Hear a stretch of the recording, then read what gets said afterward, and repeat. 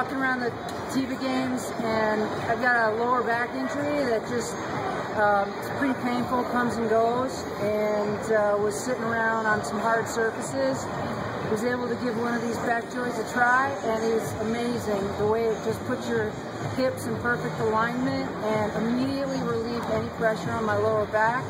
Uh, I love it. It straps right to my backpack, and uh, can take it anywhere. Use it at work to fix my terrible work chair. Probably even use it in the car, uh, but definitely hiking, going to any uh, events where there's hard seats. This will go with me everywhere I go.